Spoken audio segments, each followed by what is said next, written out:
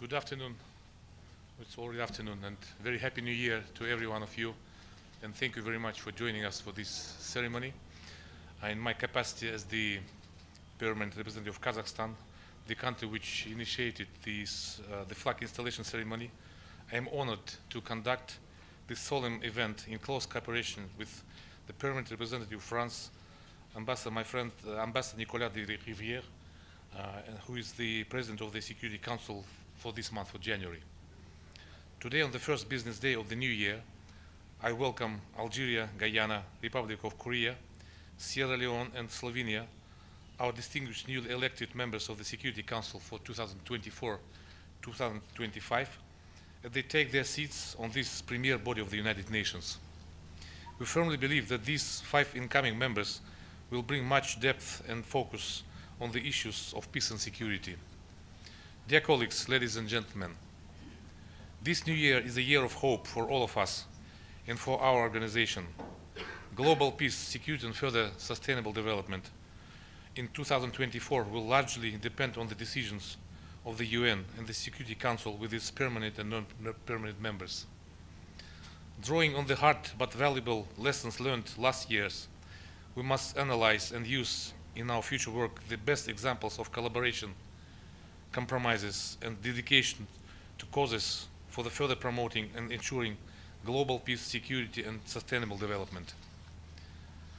And dear colleagues, newly elected members of the Security Council, on behalf of Kazakhstan, which has had the distinct honor of serving on the Security Council, I extend my heartfelt congratulations to, e to each of you and I sincerely wish you every success in realizing your priorities in the Council for the benefit of the all humankind. I have no doubt that you will make sterling contributions to its work during the two critical years, crucial and critical years in the modern history. While you accomplish your noble mission, I wish you all to stay safe, focused, and stay together. And, and I thank you. Uh, and dear colleagues, uh, without further ado, I would like to give the floor to His Excellency, uh, Permanent Representative of France and President of the Security Council for the month of January, Ambassador, His Excellency Nicolas de Rivière. Ambassador, you have the floor.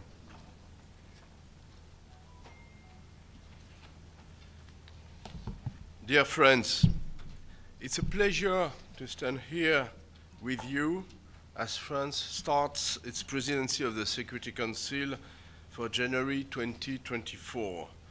On behalf of all Security Council members, I would like to extend a warm welcome to the five new non-permanent members joining us today. Algeria, Guyana, the Republic of Korea, Slovenia, and Sierra Leone. Sitting in the Security Council is both an honor and a responsibility, especially at a time when regional crises are multiplying. I'm thinking in particular of the Middle East, Eastern Europe, and Africa. We are looking forward to working with you for the two coming years to implement the mandate of, the, of this Council, preserving international peace and security, and to defend a multilateralism respectful of the values of the UN Charter. Bienvenue à tous et excellente année 2024.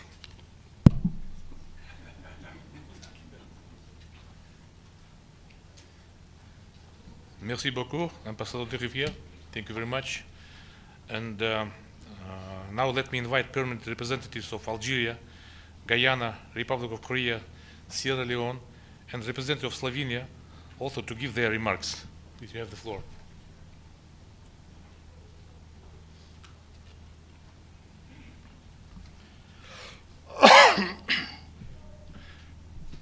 Good morning, dear friend, and Happy New Year.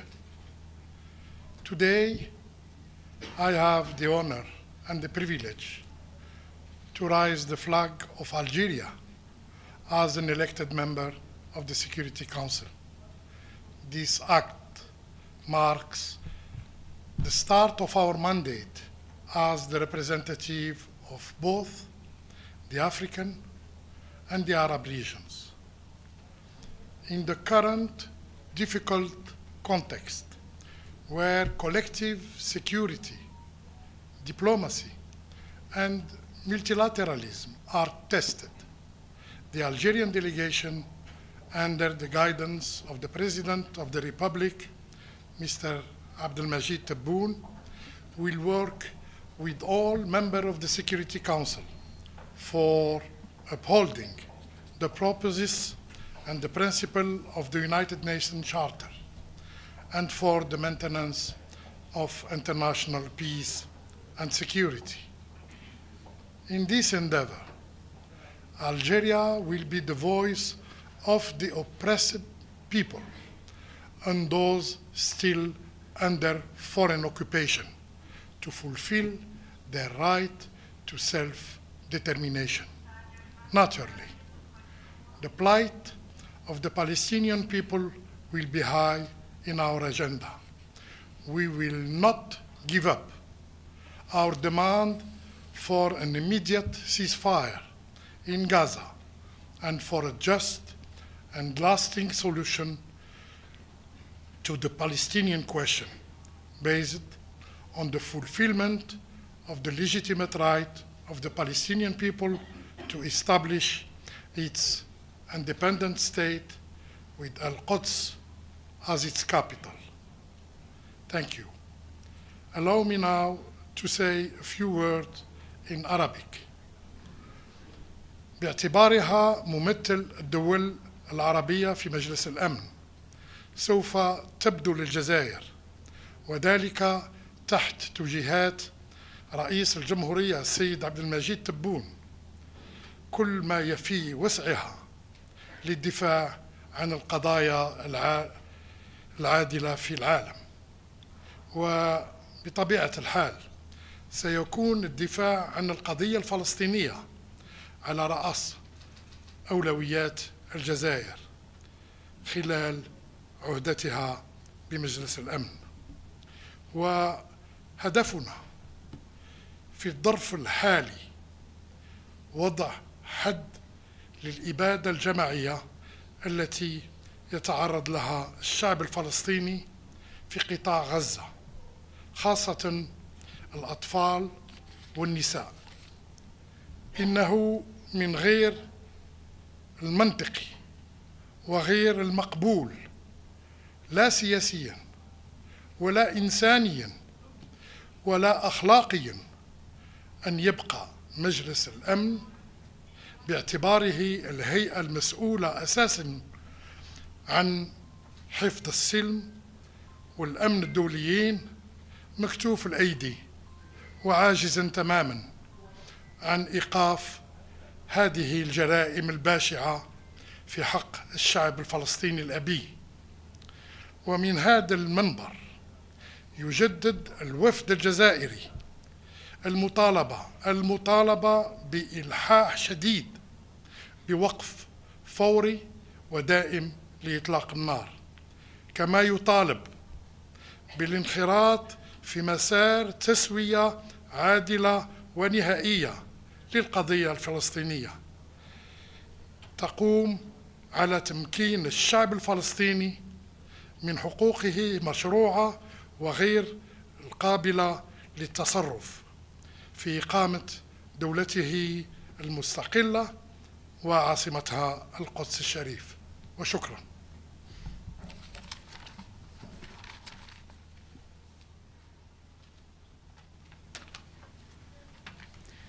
Good morning, friends, and a Happy New Year to you all. I am pleased to participate in this solemn event marking the commencement of Guyana's tenure as an elected member of the United Nations Security Council. I express my delegation's deep appreciation to Ambassador Akan Rakhmetullin and the staff of the Permanent Mission of Kazakhstan for initiating the flag installation ceremony and for today's event.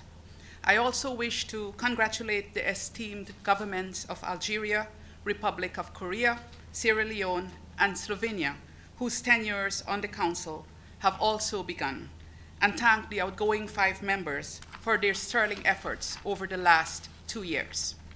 Allow me to reiterate Guyana's gratitude to the UN General Assembly for making Guyana's membership of the Council possible, and to express our appreciation to the entire UN community for their steady support, encouragement, and advice. The task of maintaining international peace and security is growing increasingly complex with multidimensional challenges. The Council is therefore compelled to be proactive in addressing potential sources of conflict and comprehensive in its response to existing conflict situations. Guyana will be constructive in our approach to the work of the Council, fully committed to partnerships for the peace and prosperity of the world's people. We will seek a people centered approach, including the involvement and, of women and youth in the search for solutions, ever mindful that conflict is a driver of poverty and underdevelopment, and therefore inimical to the achievement of the Sustainable Development Goals. In closing, Guyana has never wavered in its commitment to multilateralism and to promoting the principles and purposes of the United Nations. Guyana's pledge, therefore, led by His Excellency President Mohamed Irfan Ali, is to be guided by a firm adherence to the rule of international law, including the Charter of the United Nations, and to continue to work collaboratively to strengthen universal peace and security for a better world. I thank you.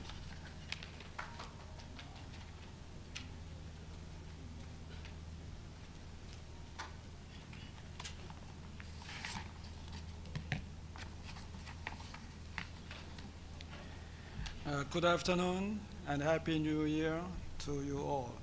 It is my profound honor to stand before you today representing the Republic of Korea as we embark on our term as a member of the Security Council.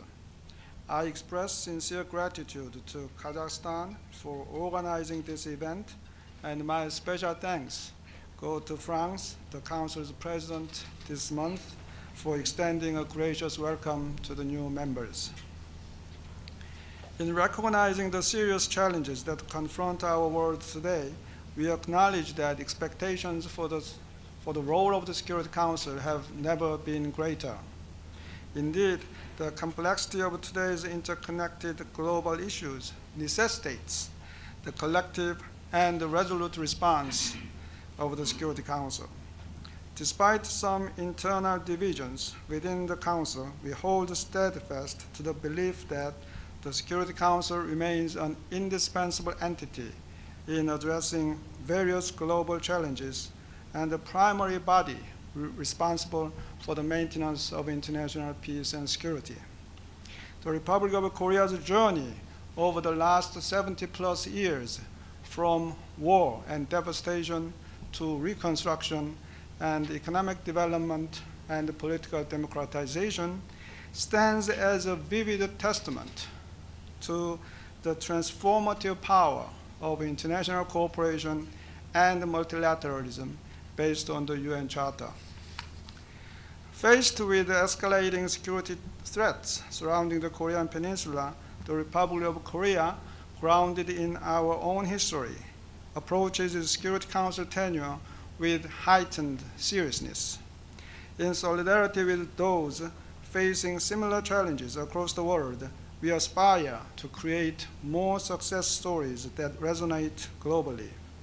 And we are confident that it is possible to do so by working together genuinely for our shared objectives of promoting international peace and prosperity, as well as upholding human rights and the rule of law. We stand ready to fulfill our duties in close cooperation with fellow council members other UN member states, and, and the Secretariat. Lastly, I'd like to extend my sincere appreciation to the departing members, Albania, Brazil, Gabon, Ghana, and the United Arab Emirates for their contributions for the last two years. As a new Security Council member, we solemnly pledge an unwavering commitment to contribute to enhancing the effectiveness of the Council, tackling its inherent limitations, learning from its failures, and building upon its successful initiatives. Thank you.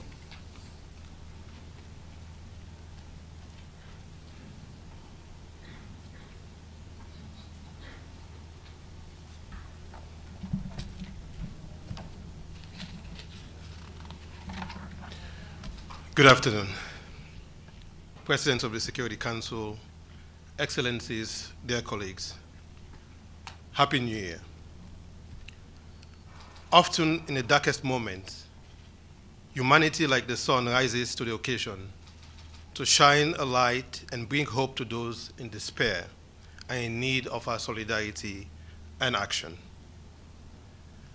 After a year of unacceptable human tragedy, violence, and turbulence, the enduring human spirit of hope must lead us collectively to the coveted shorelines of peace, stability, and prosperity. Sierra Leone thanks Kaz Kazakhstan and its permanent mission for initiating this solemn flag installation ceremony and for its continuation.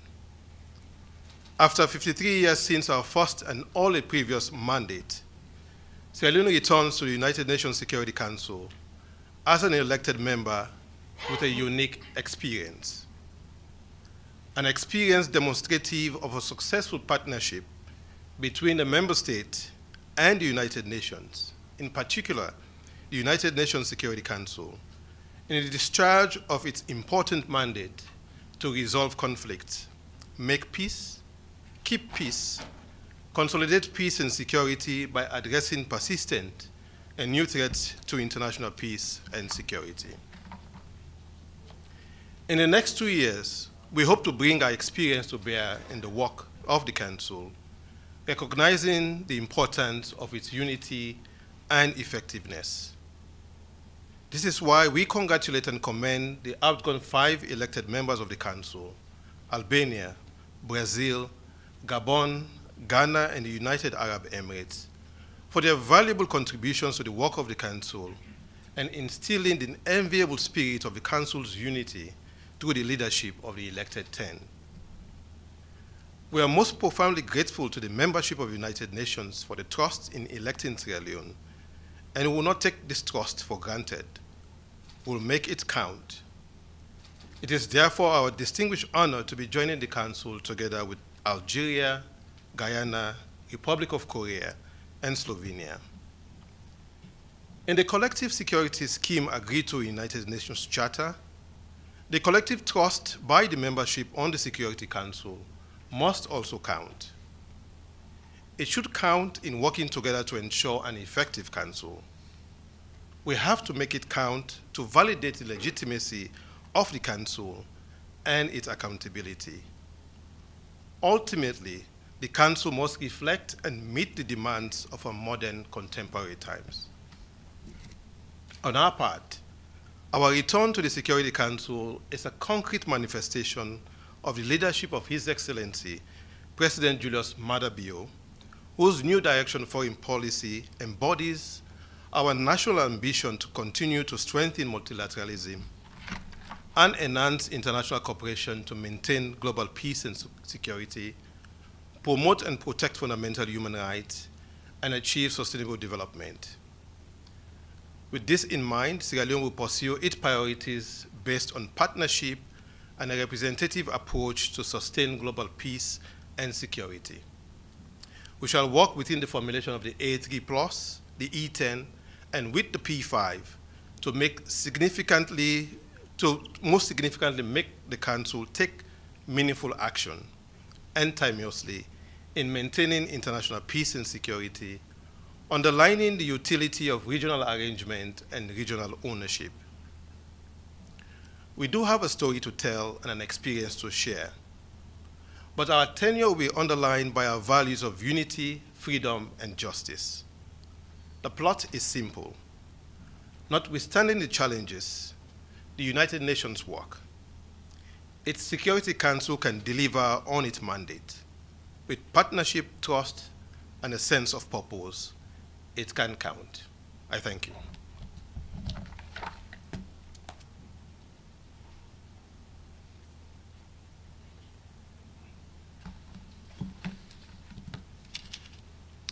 Uh, good morning, good afternoon, Happy New Year, and let's make it a peaceful one. We are entering the Security Council today with a great sense of responsibility and determination. The work of Slovenia in the Council will be guided by the UN Charter, international law, and our foreign policy of peace. We pledge to act in goodwill and in transparency to all UN members. We trust in multilateral system with the UN at its core as the only way to finding solutions to the most difficult crises on the agenda.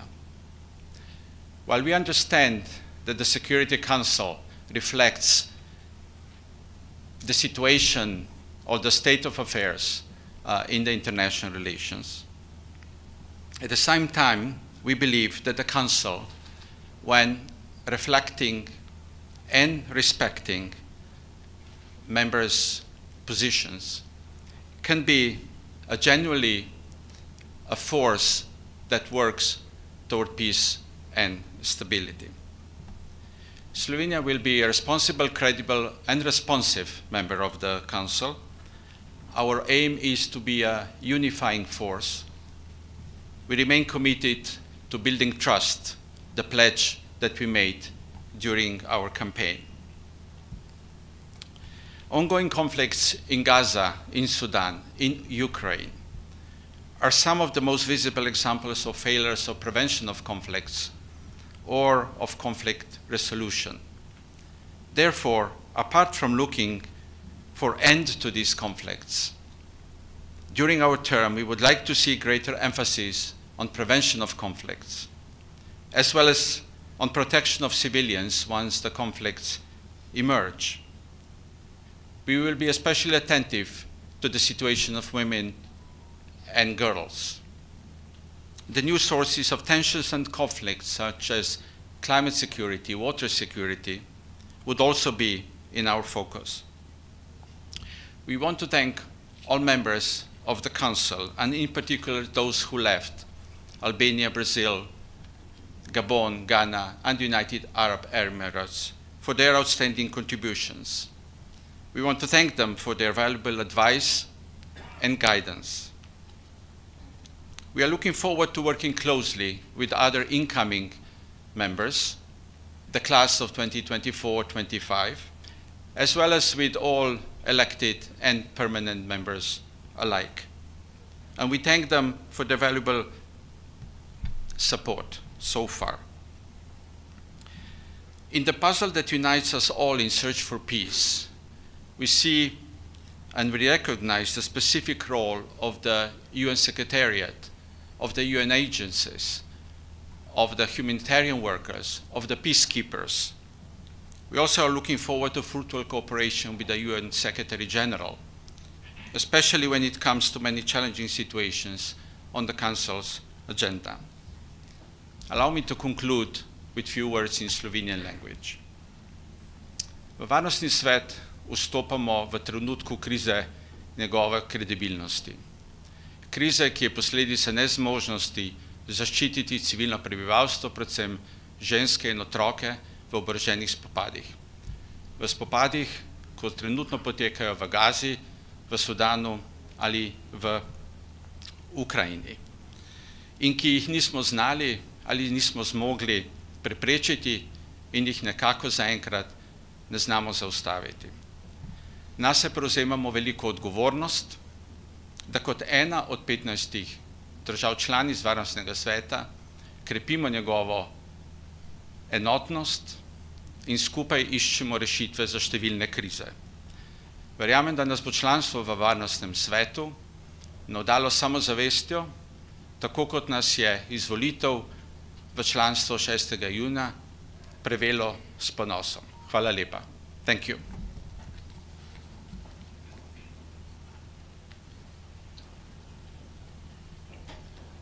I thank again uh, all the colleagues for their very thoughtful remarks and uh, wish again every success in your very uh, responsible uh, two-year tenure in the Security Council. And dear colleagues, uh, let us uh, proceed further with the flag ceremony and I would like to declare now to the flag installation itself. Please, thank you very much.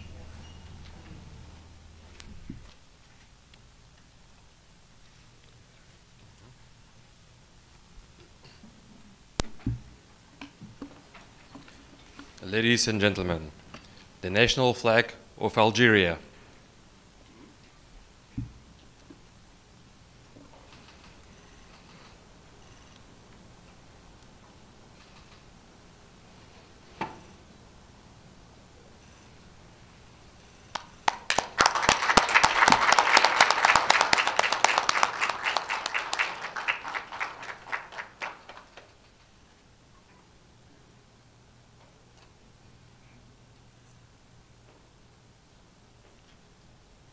The national flag of Guyana.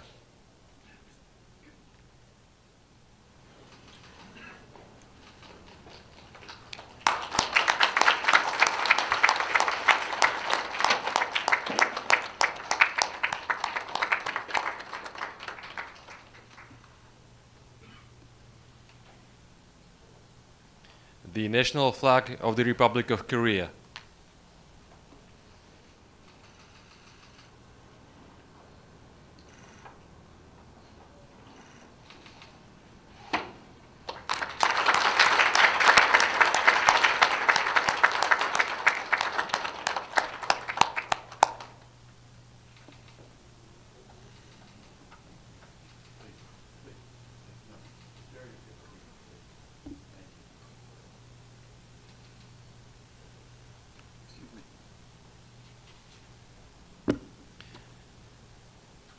National flag of Sierra Leone.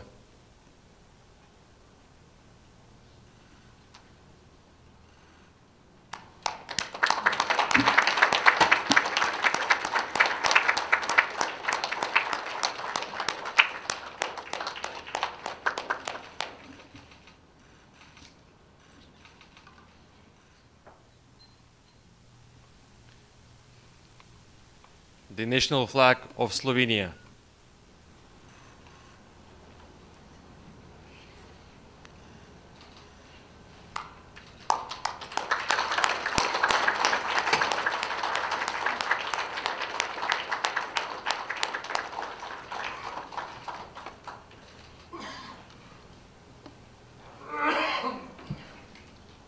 Ladies and gentlemen, esteemed parent representative and representative, we would like to invite you for the group picture. Thank you.